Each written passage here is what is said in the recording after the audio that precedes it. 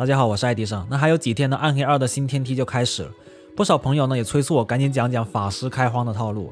那其实虽然二点四版本做了很多职业平衡改动，但是呢对法师开荒影响不大。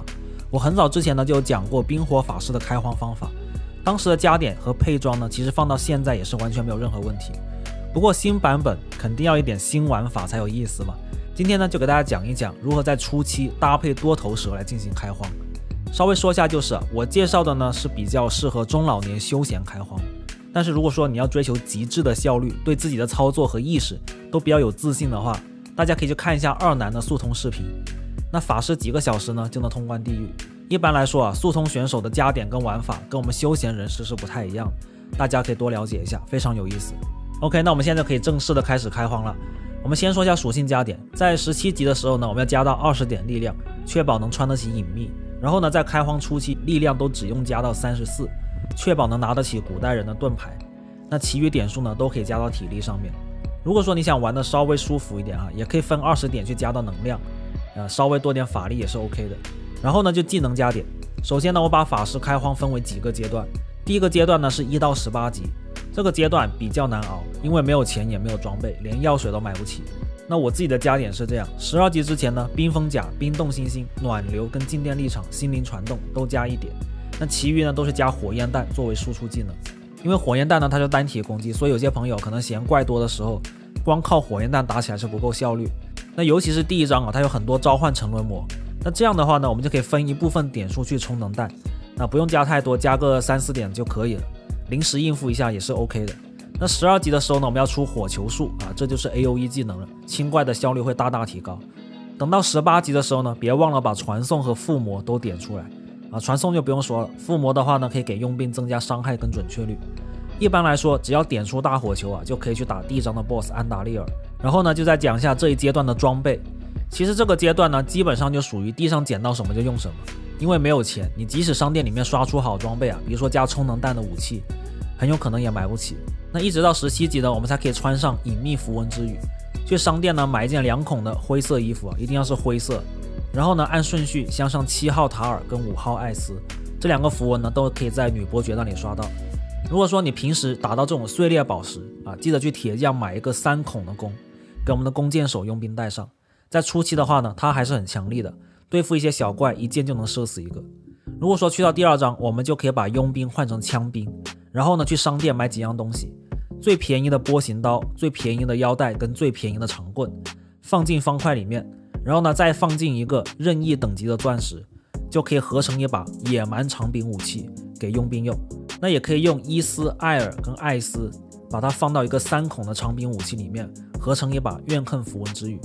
但是呢，野蛮长柄武器性价比更高一些。然后呢，我再说一下这个阶段的刷钱方法。第一呢，就捡垃圾。地上掉的这种爆炸药水，就是那种扔出去可以砸怪的黄色、绿色药水。我们捡起来呢，拿去商店卖掉，可以卖好几百块，还是挺有用的。但虽然捡起来一些垃圾装备也能卖钱，但是呢，要知道暗黑二的背包格子很有限，这些药水呢只占一个格子就能卖几百块，而一件装备呢可能要占用好几个格子，但它可能也只能卖几百块。所以呢，从背包经济学的角度考虑来说，这些药水是初期非常值得捡起来去卖的东西。那同理呢，项链、戒指、飞镖这些占格子少的东西都值得捡起来拿去卖。而值得捡起来的装备就是死灵跟圣骑的专属武器，还有些重甲也是比较值钱的。那还有一个刷钱的方法，就是去商店买便宜的蓝色的圣骑或者死灵的武器。比如说这个东西买进来是五百多，然后呢把它放进方块里面，同时再放进去三个任意颜色的碎裂宝石。合成之后呢，就会出来一个新的蓝色武器。如果说技能等级加的多的话，就会很值钱。比如说我这个合成出来就卖了五千，那实际上呢，如果我去第二章的商店，可以卖更高的价钱。所以说，为什么中老年人喜欢玩暗黑二，就这个原因。因为啊，这是一个很反映现实的游戏，随便买个垃圾，再用另外一些垃圾包装一下，就能卖出去几倍的价钱。所以呢，一开始这些碎裂宝石还是很有用。然后呢，就进入我们的第二阶段，就是十九到三十级。十九级之后呢，我们去商店买一把两孔的灰色双手法杖，灰色灰色灰色啊，不是蓝色啊，重要事情要说三遍。最好呢是带火球技能等级的，然后呢按顺序镶上特尔跟拉尔，就可以获得叶子符文之羽，加很多的火焰技能等级。那在拿到精神剑之前呢，叶子都是一把非常好用的符文武器。然后呢，我们再看这个阶段的技能加点，二十一级到二十四级，我们要把暴风雪这一路都点出来，因为到了普通难度后期啊，就会出现火免疫的怪物，有暴风雪打起来会简单很多。然后呢，有多的点数可以点火球。再接下来就要注意啊，从二十七级之后，我就会留一些点数，到三十级的时候呢，我就会同时把冰封球、冰支配、多头蛇跟火支配点出来。当然，你也可以不用冰封球啊，你一直用暴风雪也是可以。那关于暴风雪跟火蛇的搭配呢，我后面还会讲到。我先讲冰封球的玩法。那装备上面这个阶段呢，没有太多需要调整的，主要就是我们这个时候已经进入普通难度的第四章和第五章，需要加些火抗。那可以用两孔头盔镶嵌拉尔符文来堆火抗。那等完成第五章解救野蛮人的任务之后啊，就可以获得七八九三个符文。那我们现在呢，就来做一个古代人的契约。那去普通难度第二章的商店刷一个三孔大盾牌，按照拉尔、欧特、塔尔的顺序放进去符文。注意，有些朋友他看都不看的，以为古代人就七八九三个符文放进去，那其实不是这样的哈，结果会很悲剧的。还有呢，就是要留意第五章掉落的水晶剑。注意啊，捡起水晶剑的时候，你一定要记住这是在哪里掉落的，因为第五章世界之石里面的场景等级就比较高了。如果在里面掉的水晶剑再拿去铁匠打孔的话，就很有可能打出六孔。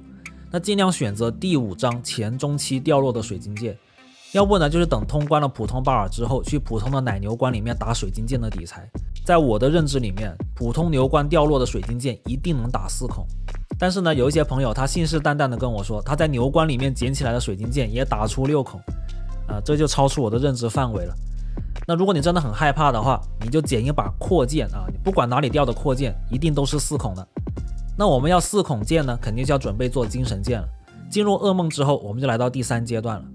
那三十级到六十级之间呢，我会在冰封球跟火蛇这两个技能上面平均加点，还是慢慢的解任务。到噩梦女伯爵的时候，我们可以停下来多刷几场。我们要做几个符文之语，一个是精神剑，然后是知识头盔，然后是押韵盾牌，还有呢就眼光，最后是烟雾。那精神剑的底材呢，我刚刚已经讲过了。知识头的底材其实没有太大所谓，最好呢是头环或者其他任何两孔头都可以，但不要重甲，力量需求太高。那押韵盾的底材呢，就可以回到普通第二章卓格南这里刷两孔白骨盾的底材，也是要灰色，不是蓝色。再次重申一下，那白骨盾的好处呢，就是格挡率比其他盾高一些。那眼光的底材呢，这个时候不太讲究，只要是个四孔长柄武器，都先把眼光做出来用着。反正呢，都是一些低级符文之语，以后打到好的底材再换也不要紧，千万不要憋着，一定要等到好底材才做。还有呢，就烟雾是一件抗性很高的衣服啊，最好用轻甲来做，佣兵可以穿，自己也可以穿。但就是呢，符文最大用到十七号卢姆，不是很容易获得，一开始没有的话也无所谓。那除了符文之语呢，我们还要看一下我们其他面板属性，比如说施法速度。有了精神剑和隐秘之后，我们最好再来一个学徒施法戒。那这样呢，我们的施法速度就达到六十三这个档位，传送和战斗的时候就会更加流畅。那只要有了精神剑跟眼光之后，基本上噩梦啊就可以一路的平推过去。那我可以简单介绍一下我的按键设置：左键冰封球，右键传送，然后 A 呢是心灵传动，用来开宝箱捡药水；S 呢是静电立场；D 呢是冰霜星星；F 呢是多头蛇。那附魔和冰封甲这两个用的不是很频繁的 buff 技能呢，我会放在 F 七和 F 八。那我们在噩梦呢可能会停留一段时间，一边升级一边刷些日用品。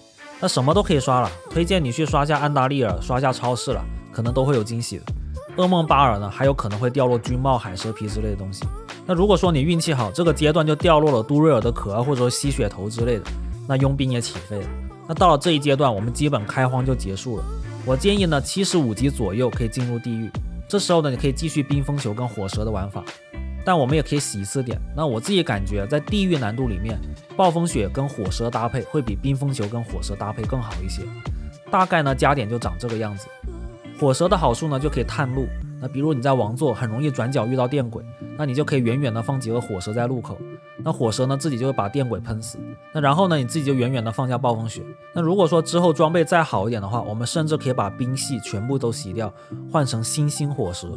但是呢，要有点装备底子啊，必须要有的装备有哪些呢？第一，星月剑啊，有减百分之三十五的电抗，那需要用到二十二号符文。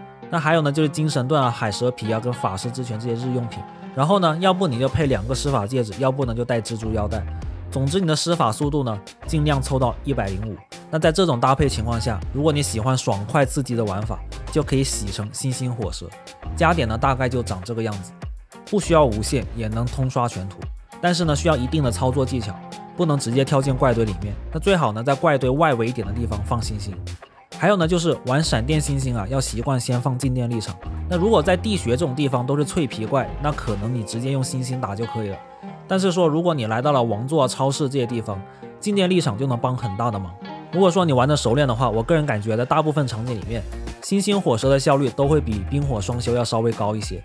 那最重要的是打起来爽快，不容易睡着，这对中老年也挺重要的。那算是一个没有无限也能打的平民电法搭配。那不管怎么样呢，开荒最有趣的还是大家一起组队玩。我还记得上次开荒就是在圣骑的帮助下通关了地狱，然后呢在一起组队开巴尔车，大家凭手速来抢装备，其实也是欢乐多多。那如果没有人组队一起玩的朋友呢，也可以加入我的 DC 社群，寻找一起开荒的小伙伴。好，那这期法师天梯开荒的介绍呢，先到这边。喜欢的朋友呢，请记得点赞订阅我的频道，我们下期再见，拜拜。